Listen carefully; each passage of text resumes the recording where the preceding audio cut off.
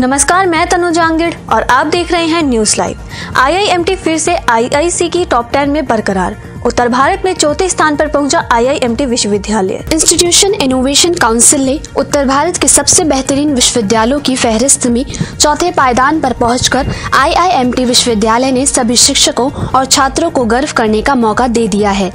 IIMT pro vice chancellor doctor Deepa Sharma ने फिर से उत्तर भारत की टॉप टेन यूनिवर्सिटी की लिस्ट में अपनी पोजीशन बनाए रखने के लिए पूरी आईआईएमटी विश्वविद्यालय परिवार को शुभकामनाएँ दी।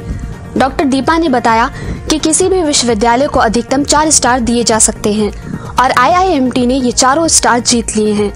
उन्होंने इस प्रदर्शन के लिए आईआईएमटी प्रबंधन से लेकर शिक्षकों और छात्रों को उनकी कड़ी मेहनत के लिए बधाई दी। पीएम मोदी बोले, डिजिटल बैंक है आज की वास्तविकता, एक दशक में होंगे आम। प्रधानमंत्री नरेंद्र मोदी ने इन्फिनिटी फोरम का उद्घाटन करते हुए कहा कि बिना किसी भौतिक शाखा कार्यालय के पूरी तरह से डिजिटल बैंक आज एक वास्तविकता है। और एक दशक से भी कम समय में यह आम बात हो सकती है। प्रधानमंत्री ने कहा कि पिछले साल देश में मोबाइल भुगतान ने पहली बार एटीएम से नगद निकासी को पीछे छोड़ दिया है। अब फिनटेक पहल को फिनटेक क्रांति में बदलने का समय आ गया है। एक क्रांति जो देश के हर नागरिक का वित्तीय सशक्तिकरण करती है, हमारे डिजिटल पब्लिक इंफ्रास्ट्रक्चर सॉल्यूशन दुनिया भर के नागरिकों का जीवन बेहतर बना सकते हैं। सुप्रीम कोर्ट में वायु प्रदूषण पर सुनवाई जारी। सरकार ने बनाई टास्क फोर्स बढ़ते वायु प्रदूषण पर सुप्रीम कोर्ट में सुनवाई के दौरान उत्तर प्रदेश सरकार ने कहा कि उद्योग बंद होने से राज्य में गन्ना और डेयरी उद्योग प्रभावित हो सकते हैं। हवा के दबाव में यूपी नीचे है और यहाँ हवा ज़्यादातर पाकिस्तान से आ रही है। यूपी सरकार की इस दलील पर मुख्य न्यायाधीश एन वी रमना ने कहा तो आप पाकिस्तान में उद्योगों पर प्रतिबंध लगाना चाहते हैं। वहीं प्रदूषण के मामले में केंद्र सरकार ने सुप्रीम कोर्ट को बताया कि पाँच सदस्यों की इन्फोर्समेंट टास्क फोर्स गठित की गई है। दिल्ली में वायु प्रदूषण पर सुनवाई के दौरान सुप्रीम कोर्ट ने कहा कि मीडिया का कुछ वर्ग यह दिखाने की कोशिश करता है कि हम स्कूलों को बंद करना चाहते हैं। यमुना एक्सप्रेसवे पर हादसा। दबिश देने दिल्ली जा रहे मध्य प्रदेश के तीन पुलिस कर्मियों की मौत। मथुरा में यमुना एक्सप्रेस वे पर सुबह करीब साढ़े चार बजे हुए हादसे में मध्य प्रदेश के टीकमगढ़ के तीन पुलिस कर्मियों की मौके पर ही मौत हो गई। हादसा इतना भीषण था कि बोलोरो जीप दो हिस्सों में बट गई। मरने वालों में एक महिला कांस्टेबल भी शामिल है। हादसे के बाद एक्सप्रेस वे के सुरक्षा कर्मी और स्थानीय पुलिस मौके पर पहुँची और घायलों को अस्पताल पहुँचाया। हादसे का शिकार हुए पुलिसकर्मी मध्य प्रदेश से दबिश देने के लिए दिल्ली जा रहे थे। मथुरा के पास माइलस्टोन 80 के समीप चालक ने नियंत्रण खो दिया। जीप पुलिया से टकराकर दो हिस्सों में बट गई। आईएमएफ में भारतीय मूल की गीता गोपीनाथ का बड़ा प्रमोशन।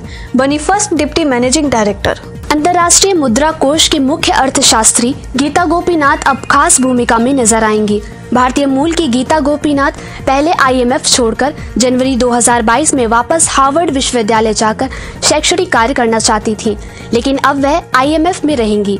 उन्हें प्रमोशन देकर आईएमएफ की फ़र्स्ट डिप्टी मैनेजिंग डायरेक्टर बनाया गया है। यह आईएमएफ में दूसरे नंबर का पद है। वह जॉफ्री ओका मोतो की जगह लेंगी, जो अगले साल की शुरुआत में अपना पद छोड़ देंगे। गोपीनाथ तीन साल से आईएमएफ में चीफ इकोनॉमिस्ट के रूप में कार्य कर रही हैं।